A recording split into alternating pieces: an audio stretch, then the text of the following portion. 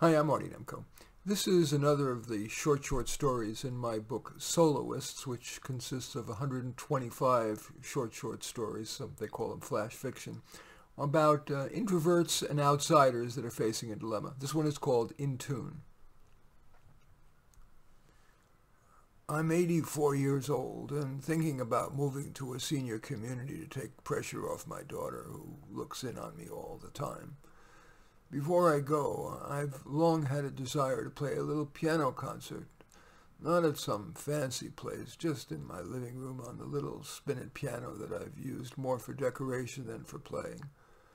All I can play are ridiculously old songs like Moonlight Bay and Over There and Let Me Call You Sweetheart. I practiced a fair amount and then placed a little ad for my concert in my neighborhood's newsletter. Then I realized that I hadn't had the piano tuned ever, so I went to the local piano shop and on the bulletin board there were business cards for a bunch of piano technicians. Only one was a woman, and let me be honest with you, even at my age I like women. And so I called her. I was surprised she was able to come same day. And I soon found out why. She had just printed up the business cards, and I would be her very first customer. I figured that for a duffer like me on a piano that's probably worth less than a tuning cost, she'd be fine. Certainly my piano could be her guinea pig. Because she said I'd be her first customer, I figured she was young. But when she walked in the door, she was around my age.